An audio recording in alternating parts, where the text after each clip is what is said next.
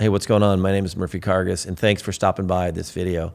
I wanted to talk a little bit about these two basses I brought, my two friends. This is my Seafoam Green uh, Ernie Ball Music Man Sterling bass. This bass I started playing on the third record through the fourth record. This was on the cover of the fourth record, our self-titled. That bass was an amazing bass to switch to with all the low end it has.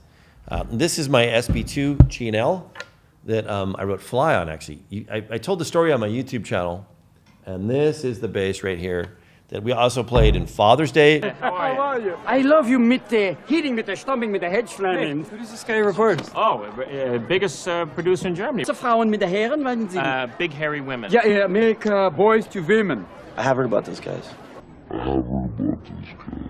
So I brought these two friends to, to talk to you and tell you that I'm excited that I just finished my first book and I can't wait to share it with you. It's a book about how to play bass and how to understand modern music and kind of put the two together. It's the kind of book that I wish I had when I was growing up taking lessons. My lessons didn't really work that good for me. What I want to do is start sharing what I'm doing now with it. Like I just got the art in and I'm really excited about the art. I have this amazing designer.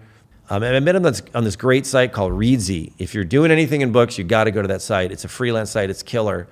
And then a great editor is working on it. So it's going to be out in a few months. I don't know exactly when, but leave me a comment in this. I would love to hear from you. And if you do like this video or anything I make, please subscribe, like it, or comment.